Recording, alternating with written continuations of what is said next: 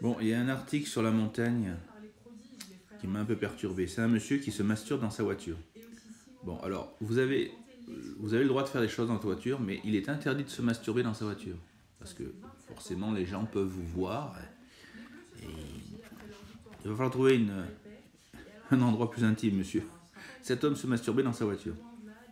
Le 3 juillet, aperçu par une conductrice de bus, place de Lille.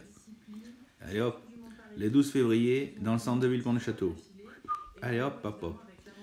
Et une fille qui passe, elle le voit de se masturber au volant de sa Clio, dans une Clio. C'est très important, le journaliste, de nous expliquer que c'était dans une Clio. C'est très important.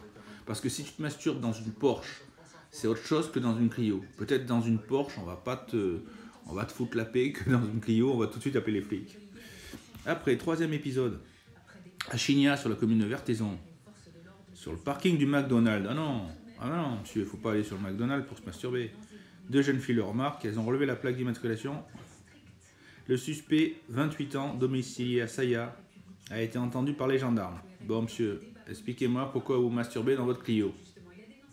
J'imagine les, flics qui vont lui demander ça. Placé sous contrôle judiciaire, surtout, surtout, il devra faire l'objet d'une expertise psychiatrique. Il a peut-être un problème psychiatrique, ce monsieur. Hein, parce que c'est pas bien ça.